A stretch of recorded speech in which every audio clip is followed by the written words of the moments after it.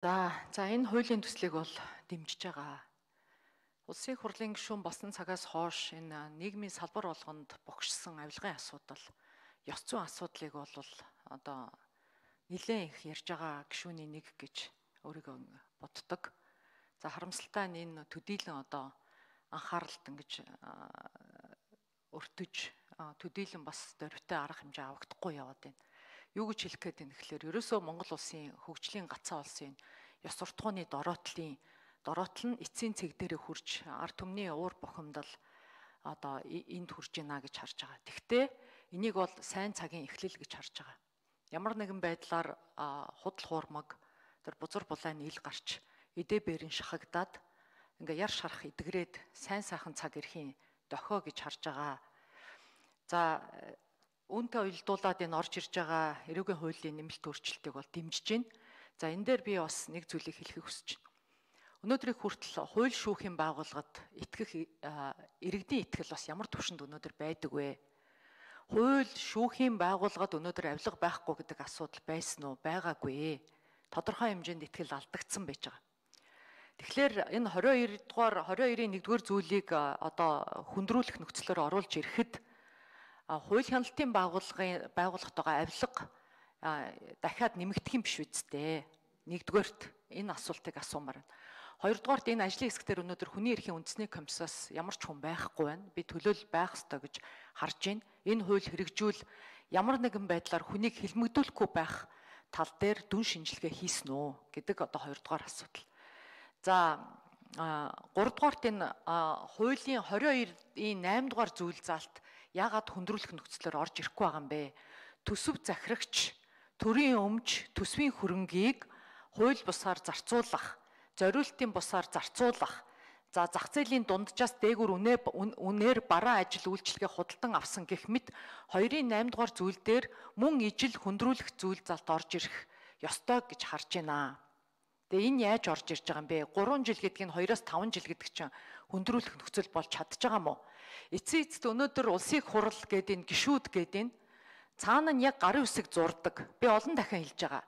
Ирх ям бидэлдэг, албан тушаалд цалин пүнлүү аваад энэ тодорхой ажлуудыг толгоогоороо хариуцаад явж байгаа хүмүүст хариуцлага хүлээлгэхээс илүү улсын их хурал руу хариуцлага хүлээлгэх гэж ингэж явдаг. Гэтэл энд чинь хууль хэрэгжүүлэх засгийн газар гэж байна. Тэрний доор ажил хариуцж байгаа хүмүүс.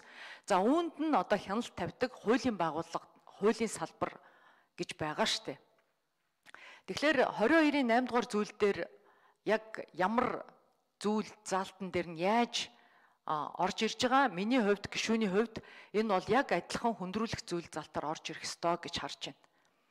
Сүүлийн энэ жилүүдэд улсын хурлын гишүүдийн нутаг нутгаараа ч юм уу ямар нэгэн нам улс төрөөр ажилд томилсон хүмүүсийн хулгай ингэж чимээгүй яваад нөгөө хүмүүсийг арт түмэн хинийнч таньдаггүй хэсэг хэсэг бүлгэрээ хулгай хийгээл ингээд ажлаас хариуцлага ажлаас халагдахаараа түүнийгээ хариуцлага тооцсонд тооцоод улсыг хохирлгүй болгох тал дээр хинч санаа зовхгүй ингэж явдаг байсан учраас төрд орж ирээд төр зур хулгай хийгээд гардаг ийм одоо сүлжээг тогтооцсон шүү дээ. Энэ бол үнэн.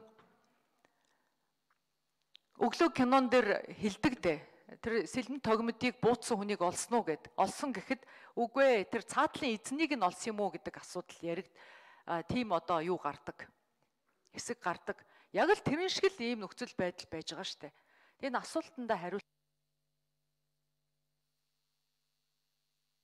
Аа гişгэгийн Нямбатар сайд хариул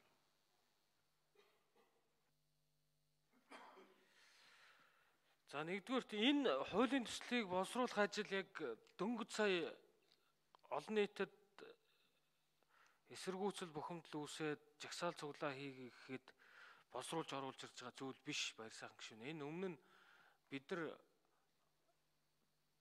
22 оны 5 дугаар сард улсын хурлд өргөн мэдүүлээд 22 оны 5 дугаар сард улсын хурл эрүүгийн хуулийн нэмэлт өөрчлөлтийг бүхэлд нь хэлцгэсгээ шийдсэн байсан. Тэгэхээр энэ ажлын хэсэгт улсын ерөнхий прокурор, улсын дээдчүүх, судлаачид, практикийн хуульчид, өмгөөлөгчид, хүний эрхийн салбарын олон хуульчид ажилласан. За ингээд бид нар энэ ажлын хөвцтэй энэ авилга албан тушаалын гэмтрэхтэй тэмцэх тэмцлийг чангатгана гэж угаасаа засгийн газрын үйл ажиллагааны хөтөлбөрт тусаж явсны дагуу яг төлөвлөгөөний дагуу энэ нэмэлт өөрчлөлтүүдийг оруулж ирж байгаа. Нэгдүгээрт. Хоёрдугаар та ер нь ямар зүйл заалтуу чангарсан бэ? Одоо бидрээс гадна цаан чин төсөв зарцуулаад сууж идэг хүмүүс чинь илүү их өдөр тутамдаа ашиг сонирхлын зөрчил үүсгээд байна гэж байгаа. Тэгэхээр нэгдүгээрт бид нар 22-ын 1 буюу нөгөө албан тушаалын байдлаа уруулан өөртөө болон бусдад даваа байдал үүсгэж байгаа. Энэ гимтэргийг маш зөв томьёолё гэд энэ 22-ын 1-ийн 2 3 ийм адил зохицуулттай байсан учраас бид нар энийг өөрчлөөд нийтийн албанд албанд ажиллах эрхийг 2 жилээс 8 жил хүртэл хугацаар хасаж 2 жилээс 8 хүртэл жилийн хугацаатай хорих ялаар шийтгэнэ гэд. За энэ хэргийг улс төрд нөлөө бүхий этгээд үйлдсэн бол нийтийн албан тушаал ажиллах эрхийг нь бүх насаар нь хасаж 5 жилээс 12 жил хүртэл хугацаар хорих ял шийтгэнэ гэд ингээд өөрчлөлт найруулж оруулж ирж байгаа. Та жишээлбэл одоо аль нэг одоо шатны засаг даргатай холбоотой энэ төр асуудал хөндөж байгаа бол энэ өөрөө улс төрд нөлөө бүхий албан шалтан гэдэг энэ ангилтанд хамаарат явчихж байгаа. 12 жил хүртэл хугацаагаар хорих ял шийдэх нь бүх насаар нь нийтийн албанд одоо ажиллах эрхийг нь хязгаарлахаар ингэж зохицуулж ирж байгаа. За сая та тэр 10 22-ын 8-ыг асууж байгаа шиг байна. Энэ нөгөө нэг нийт төсвийн хөрөнгийг зориулт тусаар зарцуулах гээд энэ төсвийн хөрөнгийг зориулт тусаар зарцуулах гэмтэргийг бид нар нэлээд шинээр битсэн. Яг энэ өөрчлөлтөөр нэгдүгээрт төсвийн хөрөнгийг зориулт тусаар зарцуулах гэдгийг төсөв захирагч өмч төрийн өмч төсвийн хөрөнгийг зориултын бусаар зарцуулсан зах зээлийн дунджаас дээгүүр үнээр авсан нөөцлөх нэрээр хэрэгцээнээс илүү хэмжээгээр одоо хадгалсан зохиомл хомсдол бий болгосон төрийн өмчийн төсөвт байгууллагын хөрөнгийг зах зээлийн дунджаас доогуур үнэлж борлуулсан төсвийн хөрөнгийг өөрийн хөрөнгө оруулалтаар баригдаж байгаа барилга байгууламж тоног төхөөрөмжийг шаардлага хангаагүй бараа ашиглаж одоо өртгийг нь бүрдүүлж барьсан бол нийтийн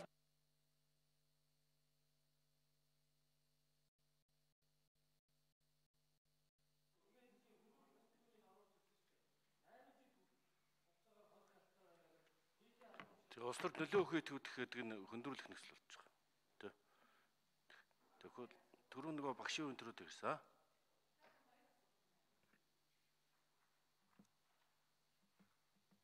Хэ хариулах уу? Пөрөжүүн сайн зураг 81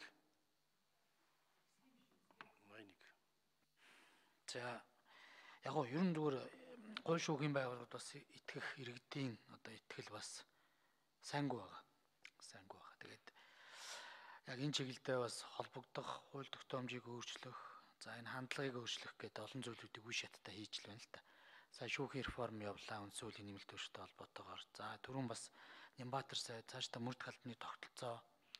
За эргээд энэ одоо юу гэдгийг энэ олон зүйлүүд дээр бас энэ хувийн эрх зүйн шинжилгээ хийгдэв гэж болоод зарим хувийн эрх зүйн маргаан эрүүглөө явдаг ч гэдэм юм. Энийгээ дагаад хууль шүүхийн байгуул буруу зүрхээр шийдлээ гэдэг ийм олон зүйлүүд байдаг. Тэгэхээр бидэд юм болгон энэ одоо 30 жилийн хугацаанд тахл явж ирсэн үр дүн багдаг. Энийг одоо засна гэдэг бас нэг өдрийн 4 жилийн ажил бол биш л байна л та. Одоо тэгээд бидний хүний нөөц байгаа одоо аль болох одоо хурдтайгаар л ажиллаж байгаа.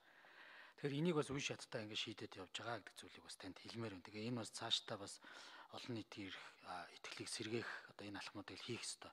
Энэ ч өөрөө нөгөө төрийн бүтээмжийн бас гол үзүүлэлт нь энэ байдаг хууль шүүхийн байгууллагатай хэр итгэж байгааны төрийн бүтээмжийн бас үзүүлэлтийн нэг шалгуур байдаг. Эндээ бас одоо холбогдох бүхий л байгууллагууд анхаарж байгаа гэдэг зүйлийг хэлмээр байна.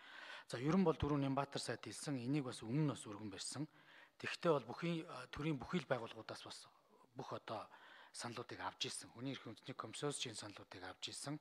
Саяын одоо одоо энэ удаагийн өргөн барьж байгаа дээр бол ямар ч хэлсэн холбогдох яамдууд улсын дэд бүх прокуророос одоо ингэ саналуудыг аваад нэгтгээд ингээ явж байгаа. За мэдээж бас одоо тодорхой хэмжээний ажлын хэсэг ажиллаад бас тал талын төлөөллийн оролцуулаад явах бүрэн болцоотой гэж одоо харж байна. Тэгээд 22-ийн 8 дээр бол одоо бас хүндрүүлэх бүрэлдэхүүн ализийн бас хуульчлагдсан байдаг. Өөрөөр хэлэх юм бол 17 оны 5 дугаар сарын 11-ний өдрийн хуулиар нэмсэн байдیں۔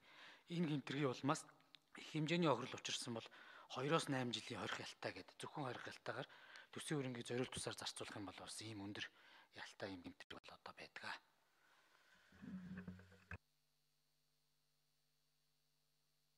За Валжны мэн баяр сайхан гүшүүн тодруулж байна.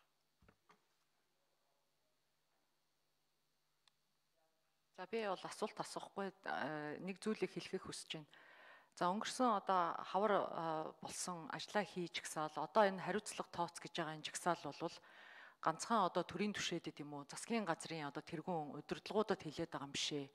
Энэ бол одоо ялангуяа төрийн албанд ажил хариуцж байгаа дунд доод шатны мөн хууль хяналтын байгууллага, шүүхийн байгууллага за төрийн албаа хаагчид ялангуяа одоо энэ төрийн өмчт үйлдвэрийн газрууд гэдэг хүн болгоныг хариуцлагатай байгаач ээ бити хулгай хийгээч ээ эх орондоо хайртай байгаач ээ гэж хэлж байгаа ч ихсаал шүү. Тэгээ энийг зүгээр нэг улс төрийн тоглолт нэг их хурал өөрчлөгдөг засгийн засгийн газар өөрчлөх ийм одоо асуудал явж гин гэж одоо ерөөсөө харах хэрэггүй. Би энэ одоо үгээрээ юу гэж хэлэх гэж байгаа юм гэхээр энэ чуулганы хуралдааныг үзэж байгаа ажил хариуцж байгаа хүн болгон дор бүрнээ а хандлага өөрчилж одоо ажлаа сайн хийх хариуцлагатай хийх тухай хашгирж байгаа шүү